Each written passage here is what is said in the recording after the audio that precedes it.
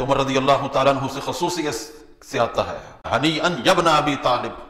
ए इब्ने अबी तालिब, असबहत व अमसईत मौला कुल्ली मुमिन व मुमिना। आपको मुबारक हो। आप हर मोमिन और हर मोमिना के सुबह शाम मौला हो गए। यानी कोई लम्हा ऐसा है ही नहीं 24 घंटे में, कि कोई मोमिन हो या मोमिना हो, वो आपको मौला ना माने। जिस लम्हे में वो आपकी मौलाइत का इनकार कर देगा, आपसे मोहब्बत का इनकार कर देगा, आपको मौला अपना महबूब तस्लीम नहीं करेगा, अपना आका तस्लीम नहीं करेगा तो उस लम्हे वो बंदा उस जद में आ जाएगा, जो हदीस का आगे वाला हिस्सा है। हजूर ने फरमाया, आदि मन आदा हो अल्लाह दुश्मनी रख उससे, अदावत कर उससे, जो अली से अदावत करे। लिहाजा 24 घंटे 24 घंटे, हर लम्हा। कोई लम्हा ऐसा नहीं बंदे का होना चाहिए, जिस लम्हे बंदे के दिल में जनाब हैदर कर्रार की अदावत आए उसके दिल में। क्योंकि वो लम्हा उसके लिए बड़ा खतरनाक है। क्योंकि उस लम्हे उस बंदे की अल्लाह से दुश्मनी हो जाएगी। उस लम्हे उस बंदे की अल्लाह से दुश्मनी हो जाएगी और जिसकी अल्लाह से दुश्मनी हो जाए हदीस पाक में, मन आदाली वलियन, फकद आजन तो बिल हर्ब। जो मेरे किसी वली से दुश्मनी करेगा तो मेरा उसके साथ ऐलान जंग है। तो वलियों को विलायत मिलती ही आपके दर से है। जो आपकी विलायत का इकरार नहीं करता, उसको तो विलायत मिलती नहीं है। जो आपको मौला नहीं मानता, उसको तो विलायत मिलती नहीं है। तो जो आपको मौला मान कर वली बन रहे हैं उनसे अगर कोई बंदा दुश्मनी करता है तो अल्लाह का उससे ऐलान जंग है। तो फिर जो आपको मौला नहीं मानेगा, जो आपको महबूब नहीं मानेगा, जो आपको आका नहीं मानेगा तो फिर वो बंदा कैसे अल्लाह करीम की तरफ़ से अदावत से बच सकता है? लिहाजा 24 घंटे में एक लम्हा भी बंदे के लिए ऐसा नहीं होना चाहिए कि उस लम्हे बंदा जनाब हैदर करार से उसके दिल में कोई रंजिश हो, ये ईमान ज़रूरी है, उनके साथ मोहब्बत ज़रूरी है। सूर सलाम ने फरमाया कि मैं तुम्हारे अंदर दो भारी चीज़ें छोड़ कर जा रहा हूँ। दो भारी चीज़ें छोड़ कर जा रहा हूँ। एक किताबुल्लाह है, दूसरी मेरी अहल बैत है। और आपने फरमाया लई यफ तारिका ये दोनों जुदा नहीं होंगे। दोनों हरगिज जुदा नहीं होंगे। ऐसा मुमकिन ही नहीं है कि किताब और अहल बैत इकट्ठे ना हों। कुरान, अल्लाह करीम की किताब और अहल बैत हजूर सलाम की इकट्ठे, कहाँ तक? हत्ता यरिदा हऊद, यहाँ तक कि ये हौद पर भी मेरे पास इकट्ठे ही आएँगे। कुरान और अहल बैत इकट्ठे। और अल्हम्दुलिल्लाह ये एजाज़ अहल सुन्नत व जमात को हासिल है कि इनके पास किताबुल्लाह भी मौजूद है और अहल बैत की मोहब्बत भी मौजूद है। क्योंकि ऐसे लोग मौजूद हैं, इनके पास किताबुल्लाह, बात कहते हैं कि हम अमल करते हैं। किताबुल्लाह है लेकिन अहल बैत नहीं। और ऐसा भी देखा जाता है कि अहल बैत है। लेकिन किताबुल्ला नहीं। यह अहल सुन्नत को एजाज हासिल है। इनके पास किताबुल्लाह भी है और इनके पास अहले बैत भी है। देखे ना, जो बंदा हज़रत सैदना सिद्दीक अकबर की सहाबियत का मुनकर है और कहता है कि मुझे जनाब हैदर करार से मोहब्बत है तो फिर इसके मतलब यह है कि उसके पास किताबुल्ला नहीं है। उसके पास किताबुल्ला नहीं है। किताबुल्ला ने तो आपकी सहाबियत को बयान फरमाया है। जो हज़रत सैदना सिद्दीक अकबर रदी अल्लाह तहु को गार में हजूर के साथ नहीं मानता तो इसका मतलब क्या है? उसके पास अहले बैत तो है, लेकिन किताबुल्लाह नहीं है। किताबुल्लाह ने तो कहा, सान यस नहीं जो बंदा तमाम सहाबा को जन्नती नहीं मानता तो कहता है कि मुझे मोहब्बत है। जनाब हैदर कर्रार से। तो तमाम साहबा को जन्नती ना मानने का मतलब क्या है? कि उसका वकुल्लम वादल्लाहुल पे यकीन नहीं है। किताबुल्लाह पे यकीन नहीं है। अगर उसका किताबुल्लाह पे यकीन नहीं है तो फिर इसका क्या मतलब होगा? कि किताबुल्लाह उसके पास नहीं है। बल्कि अगर आप साथ दूसरी हदीस भी जोड़ लें तो मसला ज़्यादा वाजे हो जाएगा। हजूर ने फरमाया कि मैं तुम्हारे अंदर दो चीज़ें छोड़ के जा रहा हूँ। एक अल्लाह की किताब है और दूसरी मेरी सुन्नत है। यानी मेरी हदीस। एक किताबुल्लाह है और एक हदीस। अब इन दोनों हदीसों को अगर आप जमा करें तो नतीजा यह निकलता है कि अल्लाह करीम की किताब, हजूर अलैहिस्सलाम की सुन्नत और अहले बैत, ये तीनों इकट्ठे होंगे। ये तीनों इकट्ठे होंगे। जिसके पास इन तीनों की रोशनी मौजूद है, जो हदीस को भी हजत मान रहा है किताबुल्ला से भी वो फैद ले रहा है, और अहल बैत के साथ भी उसका रूहानी ताल्लुक मौजूद है, वो बंदा मोमिन है। अगर दिगर साहबा के खसायस का वो मुनकर है, हज़रत सैदना सिद्दीक अकबर रदी अल्लाह तहु को जो एजाजात हासिल हैं, हजूर सलाम ने अपने मुसल्ले का उनको इमाम बनाया है। और कोई और अगर देखा हजूर सलाम ने तो हजूर ने फ़ौरन कहा, ला ला ला। जिस कौम में अबू बकर मौजूद हो, अबू बकर की मौजूदगी में किसी दूसरे का यह हक नहीं है कि वहाँ पर इमामत करें। तो जो इसको नहीं मानता और कहे कि मुझे उनसे मोहब्बत है, जनाब हैदर करार से मोहब्बत है तो इसका मतलब यह है कि अपनी मोहब्बत में वो झूठा है। क्योंकि हुजूर ने तो ये तीनों चीज़ें इकट्ठी ज़िक्र की हैं। जो इस हदीस को नहीं मानता एक तदू बिल्लाजईनी मिम्बादी अभी बकर व उमर। तुमने मेरे बाद अबू बकर की इक्तदा भी करनी है, उमर की इक्तदा भी करनी है। जो इस हदीस को नहीं मानता, अलैकुम बिसुन्नती व सुन्नतिल राशिदीन अल महदीयीन। जो इस हदीस को नहीं मानता कि जनाब सैदना उस्मान गनी रदी अल्लाह तु के अकद के अंदर हुजूर की दो शहजादियाँ मौजूद हैं। और हुजूर ने कहा, अगर तीसरी भी होती तो मैं देता। और यह के बाद दीगरे दो शादियाँ किसी नबी की बेटी से हज़रत उस्मान रदी अल्लाह तु का एजाज है। जो इन हदीसों को नहीं मानता तो इसका मतलब क्या है? वो मोहब्बत अहले बैत में वो बंदा झूठा है, क्योंकि किताबुल्लाह और हुजूर की सुन्नत और हुजूर के अहले बैत ये तीनों की मोहब्बत जब एक दिल में जमा होती है तो वो कामयाबी है।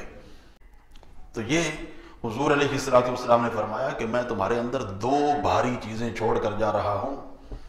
एक किताबुल्लाह है और दूसरी मेरी, अहले बैत है। अहले बैत के अजीम फर्द जनाब हैदर कर्रार सैद अली मुर्तदा करम अल्लाह करीम। मसला बड़ा अजीब है। कहीं पर तो हमें मोहब्बत अहल बैत की आड़ में साहबा से दुश्मनी नज़र आती है और कहीं इसके बरक्स भी मामला देखने में मिलते हैं। ये मैंने पहले कहा, ये तीनों चीज़ें ज़रूरी हैं किताबुल्ला सुन्नत और अहल बैत। तीनों पे अमल होगा तो कामयाबी कहीं पर भी गड़बड़ होगी तो वहाँ पर मसला खराब हो जाएगा। कुछ लोग ऐसे हैं जो मोहब्बत अहल बैत की आड़ में साहबा से दुश्मनी करते हैं। उनको मोहब्बत अहल बैत या ज़िक्र अहल बैत पसंद नहीं रहता। मिसाल के तौर पर बात समझाने के लिए, एक बंदा अपने बेटे के एजाजात बता रहा हो। कि जनाब मेरे बेटे को ये एजाज भी हासिल है, फलां डिग्री भी उसके पास मौजूद है पोजीशन होल्डर है। इसी दौरान वहाँ पर बैठा कोई दूसरा शख्स, वो उसकी बात को काटते हुए कहे कि जनाब मेरे बेटे को भी माशाल्लाह ये एजाजात हासिल हैं। मेरा बेटा भी पोजीशन होल्डर है, उसने भी फला मौका पर ये एजाज हासिल किया था। तो समझने वाले समझ जाएँगे कि ये जो दूसरे ने बात को टोका है और बात को टोकर अपने बेटे के एजाजात बताने शुरू कर दिए हैं। इसको इसका बताना अच्छा नहीं लगा। वगरना ये मौका नहीं था। जिस वक्त एक बंदा बयान कर रहा है तो उसी मौके पर बात को टोक कर अपनी बातें शुरू कर देना और अपने कमालात बयान करना, अपने एजाजात बयान करना, ये दूसरे के एजाजात का इनकार करना है। उसको हजम नहीं। अब जिस मौका पर कोई बंदा हज़रत अली बिला तशबी तमसील मैंने मिसाल दी है समझाने के लिए। किसी मजलिस में जनाब हैदर कर्रार की फजीलत का बयान हो कि जनाब हैदर कर्रार के हवाले से हजूर ने फरमाया है अली व आना मिन अली कि अली मुझसे है, मैं अली से हूँ। या कहा हुजूर ने हुसैन मिन्नी व आना मिन हुसैन हुसैन मुझसे है, मैं हुसैन से हूँ। एन उसी मजलिस में इसके बरअक्स दूसरी रवायतें पेश करना कहना कि जनाब, ये कोई हज़रत अली का खासा तो नहीं है? हजूर सलाम ने जनाब सैदना अब्बास के हवाले से भी यही कहा है कि अब्बास मिन्नी वाना मिन हो कि अब्बास मुझसे है, मैं अब्बास से हूँ। हजूर सलाम ने पूरे कबीला अशारिया के हवाले से कहा है, अल अशरियूना हम मिन्नी व आना मिन हम अशरीन मुझसे हैं, मैं अशरीन से हूँ। ऐसे ही मुस्लिम शरीफ में एक रिवायत है हज़रत जुलैबीब के हवाले से फरमाया जुलैबीब मिन्नी व आना मिन जुलैबीब। जुलैबीब मुझसे है और मैं जुलैबीब से हूँ। अब ये रिवायात हमें कोई इनकार नहीं है। इन रिवायात से कोई इनकार नहीं है। ये रिवायात साबित है। हज़रत अब्बास के हवाले से फरमान मौजूद है। कबीला अशारिया के हवाले से फरमान मौजूद है। हज़रत जुलैबीब के हवाले से फरमान मौजूद है। लेकिन एन उस मौका पर जब जनाब हैदर करार का तस्करा हुआ और उस मौका पर यह हवाले देना कि जनाब, ये तो हजूर ने फलां के बारे में भी कहा, ये तो हजूर ने फलां के बारे में भी कहा, ये तो हजूर ने फलां के बारे में भी कहा। तो इसका क्या मतलब है? इसका वादे यही मतलब है कि इस बंदे को ज़िक्र अली बर्दाश्त नहीं था। अगर होता तो फिर इसके मुकाबिल ये ज़िक्र चीज़ें ना ज़िक्र करता। बिला तशबी हो तमसील, एक बंदा। हज़रत सैदना शेख, शेखैन करीमैन के हवाले से फजाई, फजीलत बयान कर रहा हो कि हजूर ने उनके बारे में फरमाया है एक तदू बिल्लदई मिम्बादी अभी बकर व उमर, कि तुम पर मेरे बाद अबू बकर की इब्तदा भी लाजिम है। उम्र की इब्तदा भी लाजिम है। तो कोई बंदा टोक दे। जनाब हजूर सलाम ने यह भी फरमाया है कि तुम पर किताबुल्लाह भी लाजिम है और मेरी अहल बैत भी लाजिम है। मैं तुम्हारे अंदर दो चीज़ें छोड़ के जा रहा हूँ। एक किताबुल्लाह है और दूसरी मेरी अहल बैत है। तो वो आगे से क्या जवाब देगा? वो यही समझेगा, सामीन यही समझेंगे कि इसको शेखैन की मोहब्बत बर्दाश्त नहीं थी, इस वजह से जनाब ने टो करके वो दूसरी हदीस का हवाला दिया है।